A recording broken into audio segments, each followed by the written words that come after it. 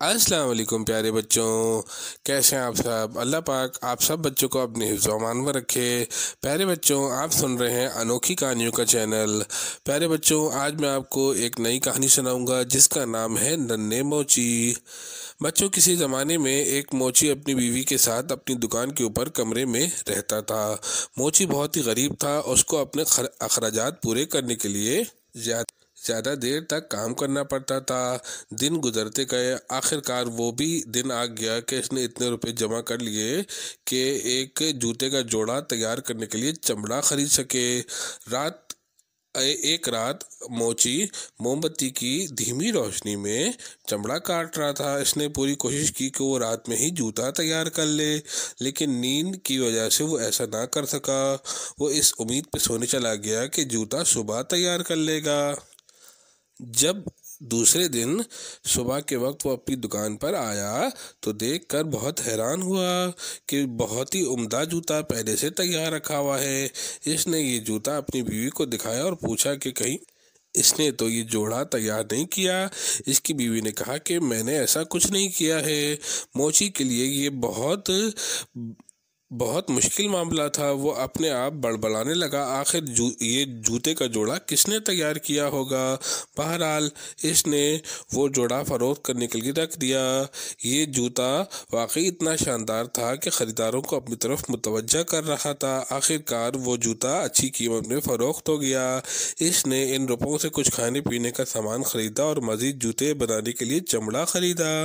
मामूली, मामूल के मुताबिक, मोची रात को फिर जूता बनाने के लिए चमड़ा काटने लगा, लेकिन नींद ने इसे ऐसा तंग किया कि वो दोबारा सोने के लिए चला गया।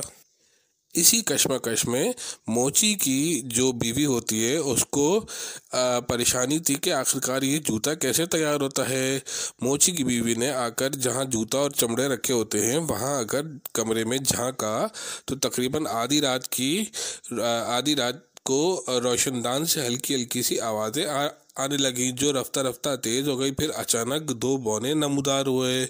वो दोनों तेज़ी से काम की जगह पर गए और आनन फानन पाँच आनन फानन पाँच बेहतरीन जूते तैयार कर लिए। मोची की भी मोची की बीवी उन नन्ही मखलूक को फुदक फुदक कर काम करते हुए और फिर इसी रोशनदान से गायब होते हुए देखकर बहुत हैरान हो गई।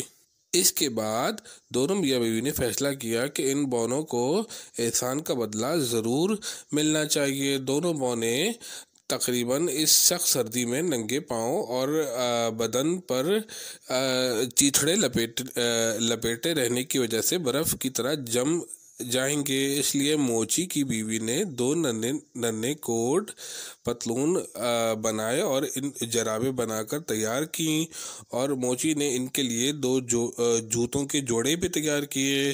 शाम को दोनों ने इन तोहफ़ों को कागज़ में लपेट कर काम की जगह पर रख दिया और ख़ुद अलमारी में इसी जगह छुप गए जहाँ पहले छुप छुपे थे।